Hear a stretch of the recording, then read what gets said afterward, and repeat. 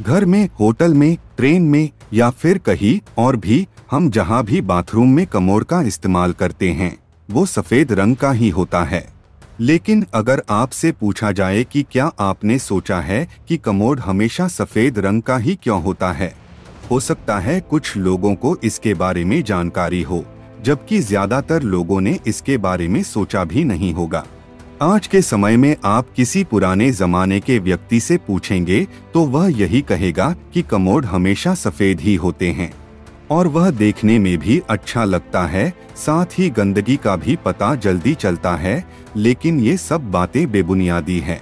हमेशा की तरह कुछ गजब का बताएँगे कि कमोड सफ़ेद क्यों होता है। सफ़ेद कमोड के पीछे का कारण उसे बनाने वाले मटेरियल से जुड़ा है, जिस मटेरियल से कमोड को बनाया जाता है। उसे सिरेमिक या पोर्सिलेन कहते हैं। हिंदी में इसे आप चीनी मिट्टी के नाम से जानते होंगे, जिसका रंग सफ़ेद होता है। कमोड के सफ़ेद रंग के होने से इसे बनाने में ज़्यादा समय और दिक्कत नहीं होती है, और इनको आसानी से बनाया जा सकता है। हालाँकि बदलते समय के साथ साथ इसके रंग में भी बदलाव आ रहे हैं।